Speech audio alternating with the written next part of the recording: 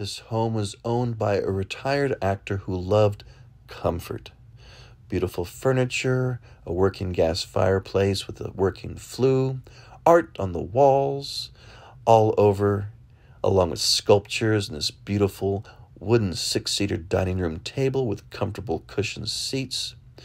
In the living room, we have these rectangular display places that hold beautiful Aboriginal art, and all the art must go. And in the garage slash studio, we've got the art of John Robert Lloyd, set designer for Hollywood and Broadway. And every large piece has an amazing 3D papier mache attachment. These are all original, all oil on canvas, all one of a kind. John Robert Lloyd designed Midnight Cowboy and The Exorcist and painted for the last 20 years of his life.